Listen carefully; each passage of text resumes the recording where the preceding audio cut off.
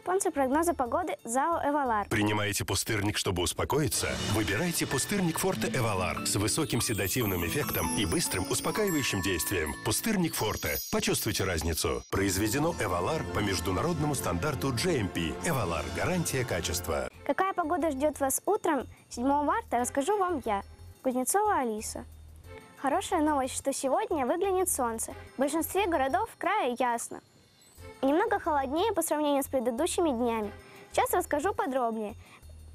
Минус 5 утром в Белокурихе, минус 8 в Бийске, 10 градусов ниже нуля в Кулунде и Заринске, 10 градусов мороза в Славгороде, минус 11 в Камне-на-Оби, минус 12 в Тальменке. Морозы, морозы покрепче в Алейске, Змеиногорске и Рубцовске. Здесь, соответственно, 14, 15 и даже 19 градусов мороза.